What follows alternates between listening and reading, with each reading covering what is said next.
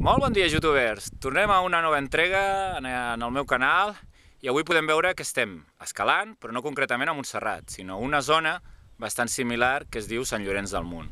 Com podeu veure, és un paisatge també molt bonic, amb un tipus de roca molt semblant al de Montserrat i on es poden gaudir de boniques vistes. Aquí a l'esquerra tenim la Mola i concretament som a l'agulla de la Castellassa. Aquesta agulla de la Castellassa va ser ascendida per uns escaladors l'any 1911, a principis del segle XX. I en aquells moments no hi havia els medis que tenim ara, els mitjans que tenim actualment. I res, podeu veure el tipus de roca.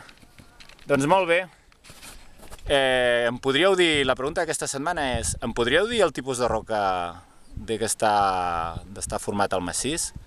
Molt bé, xiquets, ens veiem a la propera. Adeu!